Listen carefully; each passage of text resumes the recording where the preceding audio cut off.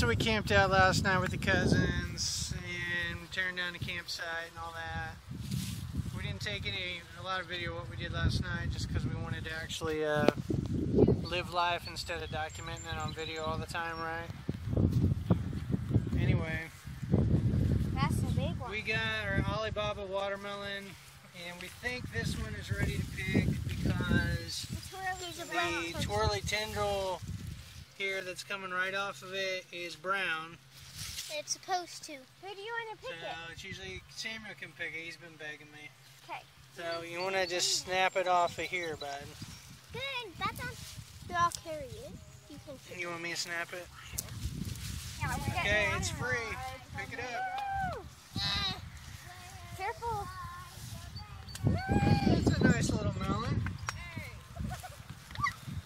Where's my? Don't drop it. Don't drop it.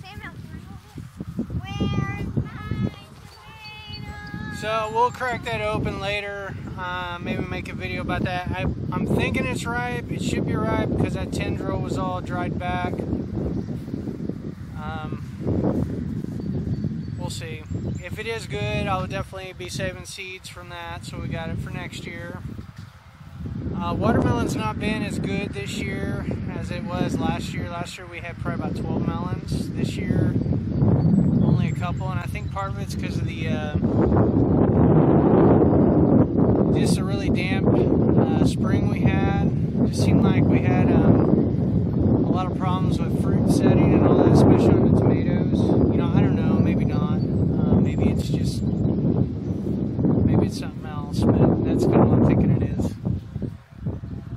Anyway, we're going to get packed up here and uh, kind of go from there. So I guess that's it for now. Until next time, happy gardening.